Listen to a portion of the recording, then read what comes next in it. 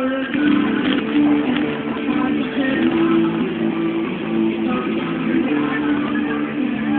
ve bien, che. ¿eh? Se ve joya. Se ve bastante bien.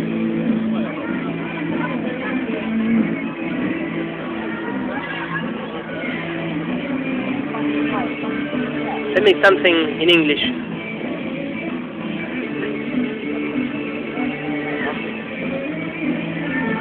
That's right.